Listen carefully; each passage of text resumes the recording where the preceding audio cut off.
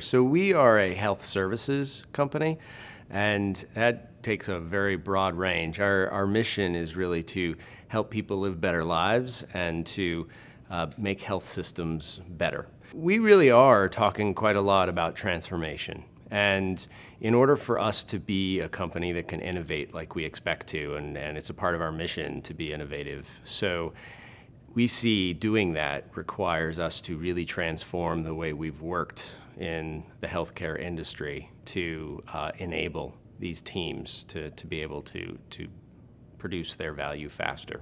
And in our uh, organization, we're working very hard to uh, work governance into that automation, figure out fashions to get security and compliance shifted left, and allow uh, software development teams to be able to uh, use self-serve security tools within their pipelines and get good feedback rapidly and to, to make better code and to have safe data.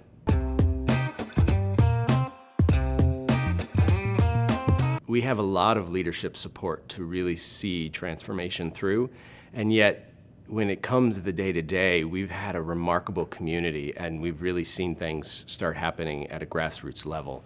We've started having regular discussions where we get people from all over the organization together just as general discussion time and we'll have topics and out of that has come some, some great opportunities where removing those silos and getting some of that cross silo uh, collaboration. We've had some, some great automation bounds start to happen for our organization. And we have a lot of security teams that have joined in and started looking at how the vulnerability scanners and how some of the other enforcement pieces uh, can start to work into CI pipelines. Um, development teams are present. Uh, a variety of different development teams.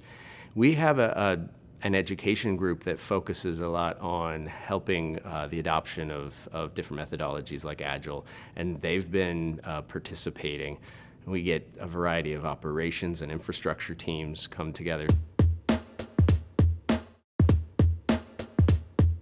I have been very interested in seeing uh, the traditional IT operations teams and the traditional infrastructure teams to really be, be in a place where they're working on a pretty common playing field and they're providing self-services. And our delivery teams are showing reduced time to get new infrastructure to product to projects.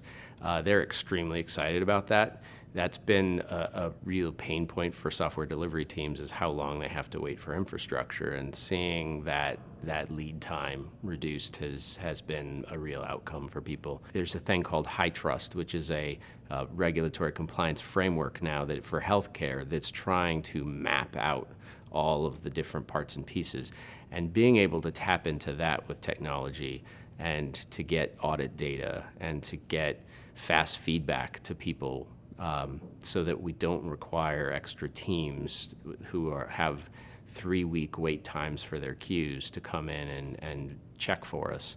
So we're, we're getting real opportunities to be able to see releases go weekly instead of releases going many months.